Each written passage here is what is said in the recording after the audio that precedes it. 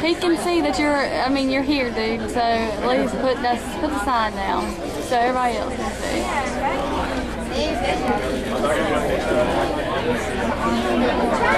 This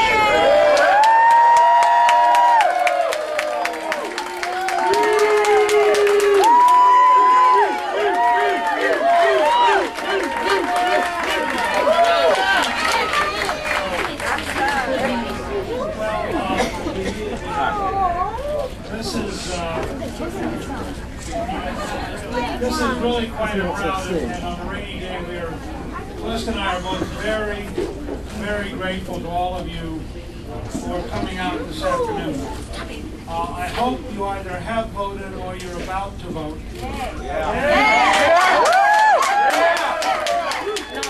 And I hope that you are going to uh, go to uh, Facebook and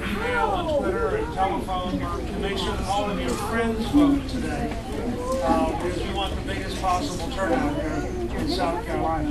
Uh, I am very grateful for all the people, including the folks outside, who uh, have come out and expressed support. Uh, the last couple of weeks have been really an amazing uh, run, and uh, just so much to Callista and me, and frankly, the reaction to the two debates has been so overwhelming. I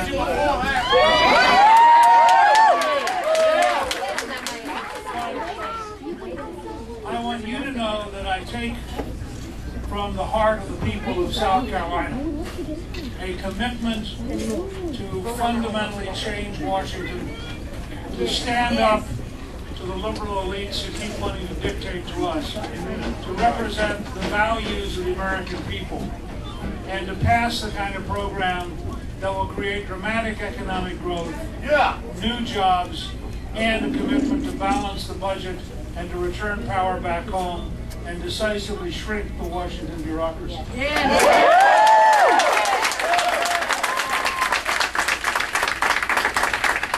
This will be an enormous challenge. And that's why I always tell people that I'm not asking you to be for us. Because if you're for us, you're going to vote and go home and say, I sure hope Nick can do it. We are going to ask you to be with us for the next eight years because we're going to need you shoulder to shoulder with us, reminding the Congress, reminding the governor, the state legislature, reminding the city council, the county commission, the school board. We have to take the entire country, not just the White House, the entire country, back in the direction of an America that believes in the work ethic, an America that believes in patriotism, an America that believes that our rights come from our Creator. You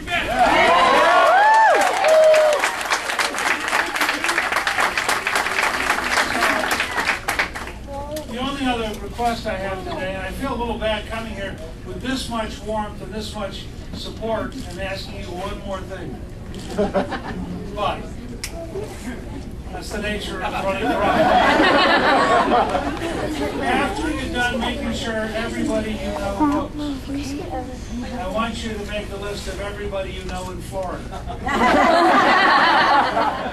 And either call them, send them an email, or put it on your Facebook. Uh, because we're going to go down to Florida starting Monday morning, and we're going to need your help to win in Florida. But I believe that idea power and people power beats money power, and that's at the heart of this campaign.